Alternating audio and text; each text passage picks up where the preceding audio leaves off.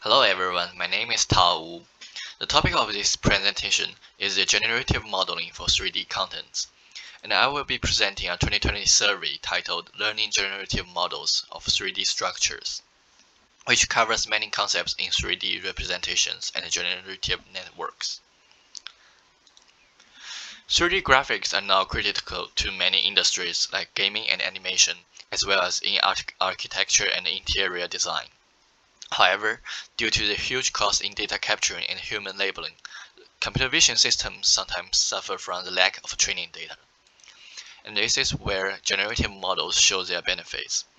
Generative models, in contrast to discriminative models, learn uh, the probability distribution over an input space X. So instead of learning to predict some attribute Y given an input X, a generative model learns the entire input distribution and thus can sample objects directly from X. Therefore, it can be very useful in simulating real-world environments and synthetically generating training data. This survey is like an educational report targeting new graduate stu students in computer science. The authors survey a large range of historical work and recent progress on generative 3D modeling. Let's begin with the structure-aware representation. We focus on learned generative models of structured 3D content. A learned model is trained with data rather than by hand or by rule-based systems. Structured 3D shapes and scenes are collections of substructures and each substructure may be decomposed into sub-substructures. For example, an indoor scene of a room consists of a chair, a desk, and a bed, etc., while the chair itself can be decomposed into a base, a seat, and a bag. The term structure-aware means to exp uh, express 3D entities while allowing manipulation of their high-level structure.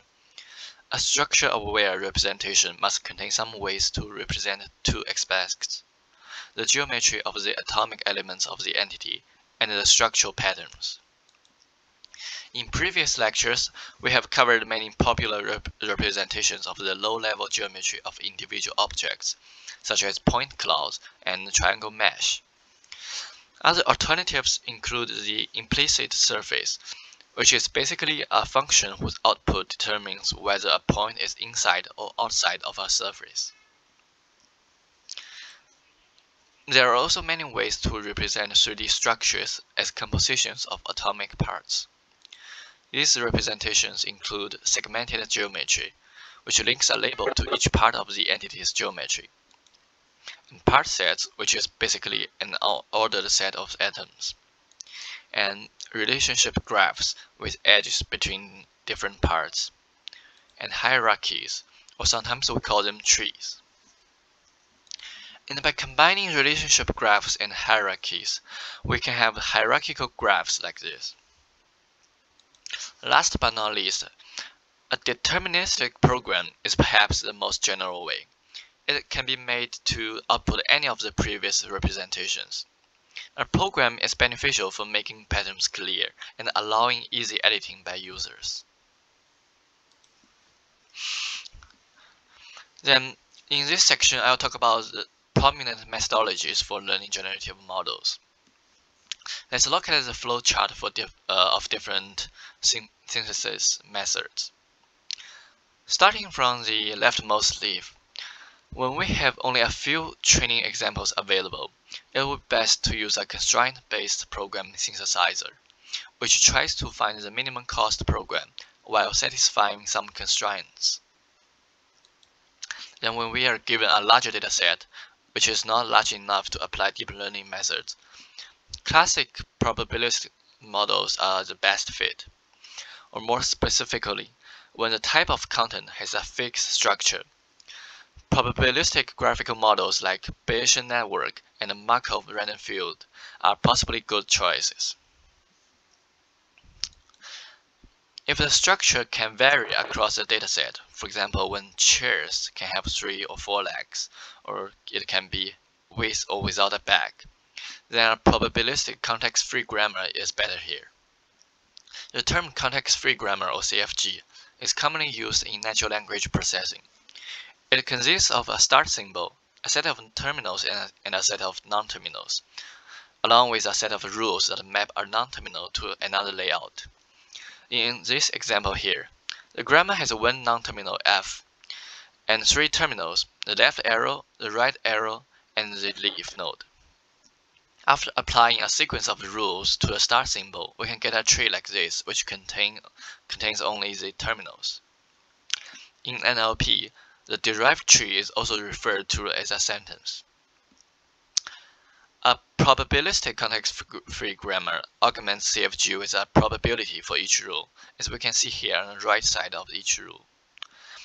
Then the probability of deriving such a tree is the product of all the applied rule probabilities. The dynamic recursive nature of PCFG makes them well suited for dynamic model structures. When a large amount of training data is available, deep neural networks often prove to be the best choice. An autoregressive model is one of the examples of such generative DNN models. It iteratively consumes its output from one iteration as the input to the next iteration. For example, for example here, the model inserts one object at a time to finally generate an indoor scene. However, the weakness of autoregressive models is noticeable. If one step drifts from the training data, it, it can cause the subsequent output to diverge further. So to prevent such drift, we may, we may prefer to use VAEs or GANs, which are pretty popular in recent years. The core idea behind is to sample over a low-dimensional latent space and learn a generator that maps latent vectors to actual 3D shapes which are hard to sample. In contrast to autoregressive models, both VAEs and GANs use a global latent variable to control the generation, and they are trained with a reconstruction loss between the input and the generated output. Thus, VAEs and GANs often perform better than autoregressive models in terms of, in terms of global coherence. And in addition, the performance of different neural networks also varies for different structured data representations. And here are some examples of appropriate networks for some data structures.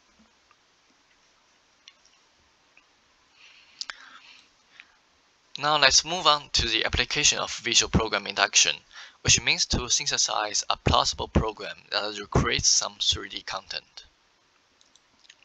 This involves recovering the generator program from existing 3D shapes. Some early instances learn to reconstruct 3D shapes via um, simple geometric primitives. For example, this 2017 work learns to decompose shapes into primitives and use chamfer distance as a loss function. In a more recent work, the model can output a 3D shape program consisting of loops and other high-level structures. The system can also execute the program to reconstruct the shapes. Some other work try to perform visual program induction directly from 2D images. Some work can infer in programs that generate 2D diagrams directly from hand-drawn sketches, and the infer program can, can be used in downstream tasks like image editing as shown here. Visual program induction allows efficient and flexible scene manipulation. The paper also surveys some other applications of generative models for 3D content.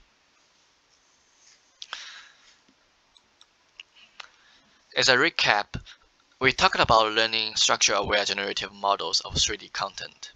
We discussed various representations of individual atoms as well as structural patterns that combine them together. We covered many generative modeling methods with their strengths and weaknesses. Lastly, we went through applications of these technologies. And that's the end of this presentation. Thank you.